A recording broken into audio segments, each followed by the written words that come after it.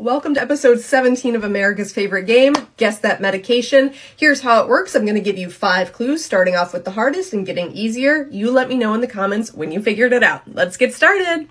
For five points, due to the risk for heat prostration, patients taking this medication should be educated to avoid high temperature environments. For four points, this medication is classified as an anticholinergic. For three points, this medication works on the detrusor muscle. For two points, major side effects of this medication include dizziness, dry mouth, constipation, somnolence, and nausea.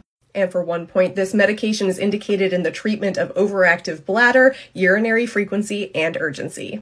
Are you ready for the answer? It is, of course, oxybutynin. This medication is super important to know for your nursing school tests and for NCLEX. If you need more review of pharmacology, check the playlist and check all the offerings we have on our website.